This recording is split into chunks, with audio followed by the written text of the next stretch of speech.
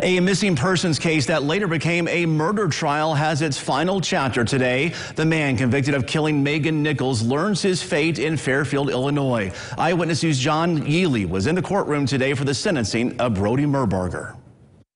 Yes, that's right. 50 years in the Illinois Department of Corrections is the sentence that was handed down by Judge Molt to Brody Merbarger for the 2014 slaying of 15-year-old Megan Nichols.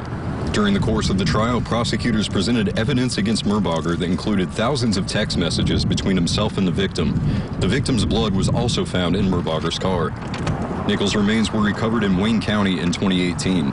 Today's sentencing comes on the heels of the judge denying a new trial request by Merbarger, who claimed the evidence didn't match the verdict. I was able to speak with one of the people who gave a victim impact statement walking out of the courtroom, who expressed their frustration, but that justice was served the best that it could be, and that it was kind of cathartic.